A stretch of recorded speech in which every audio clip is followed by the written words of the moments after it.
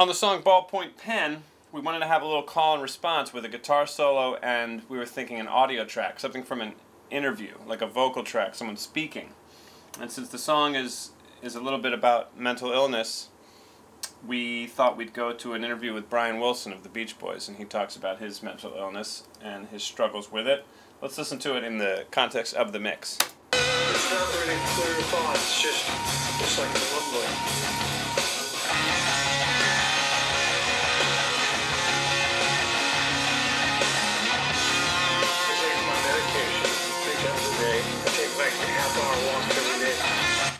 It's not really clear thoughts, just, it's like mumbling. I take my medication three times a day. I take like a half hour walk every day. He's had a tough life. Good to see that he's found some solutions.